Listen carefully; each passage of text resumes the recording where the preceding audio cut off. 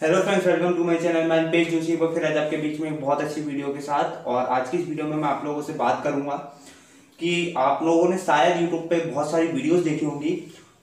उसमें एक नपुंसक जो योग होता है, अब आप लोग सब जानते होंगे नपुंसक क्या होता है। ठीक है? देखिए, नपुंसक दो टाइप का या तो वो बचपन से ही जो होते हैं, वो वाला नपुंसक योग भी होता है। और मतलब जिनका बच्चे नहीं हो, उन्हें भी नपुंसक में गिनते हैं। मतलब नाम अर्थ वगैरह आप कह सकते हो बट मैं ज़्यादा इसके बारे में चर्चा नहीं करूँगा, मैं इस टॉपिक पे आता हूँ डायरेक्ट तो आज हम बात करेंगे नपुंसक योग के बारे में। तो आपने बहुत सारी यूट्यूब पे वीडियोस देखी होंगी, उसमें आपने सुना होगा कि बुद्ध शनि की युति होगी, शुक्र और राहु की युति हो गई इन सारी हाँ कहीं ना कहीं उनकी बात बिल्कुल सच है हम झूठ नहीं बोलेंगे, वो सच बोल रहे हैं जो उनके नॉलेज है, पर मैं अपना नॉलेज भी आपको शेयर करूँ। शुक्र और राहु की युति फ़र्स्ट हाउस सेवेंथ हाउस कहीं पे भी होगी तो हंड्रेड एंड वन परसेंट ये ज़रूरी नहीं है कि वो व्यक्ति नपुंसक होगा। रीजन बताऊँगा अभी आपको।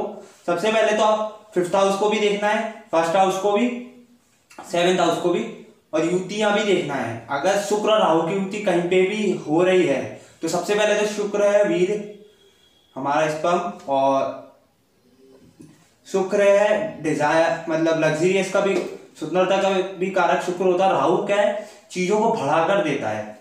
तो अब ये चीज़ थी कि शुक्र राहु की युति मतलब जो वीर होता है उसको खराब करती है, कम करती है। बट अब आप एक चीज़ लगाओ, शुक्र है वीर और राहु है, चीज़ों को बढ़ाकर देता है। तो वो चीज़ बढ़ाएगा या कम करेगा? यहाँ पर एक लॉजिक वाली बात मैं आपसे शेयर करना चाहता था।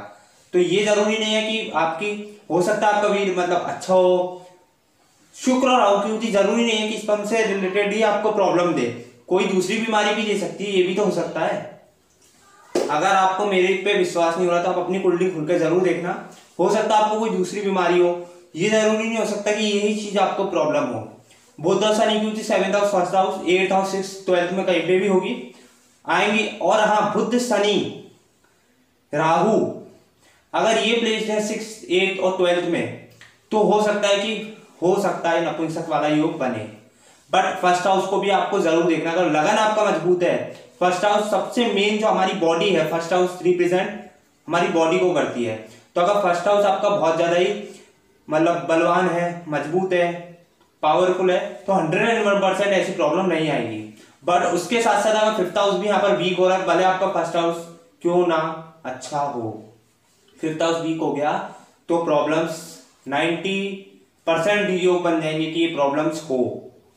बट अगर फिफ्थ हाउस संतान का घर भी अच्छा है प्लेस अच्छा है, उसका, अगर फिफ्थ हाउस में गुरु जैसा ग्रह संतान का, और सूर्य, ये सारे ग्रह पड़े हों, या अगर फिफ्थ हाउस का लॉर्ड कोई भी बनता, अगर वो बुद्ध शनि, राहु के साथ प्लेस्ड हो जाए तो ये नपुंसक वाली प्रॉब्लम आएगी ज़रूर। बट अगर प्लेस नहीं और अच्छा प्लेस हो फिफ्थ हाउस का लॉर्ड तो ये प्रॉब्लम ज़्यादा नहीं देखने को मिलेगी।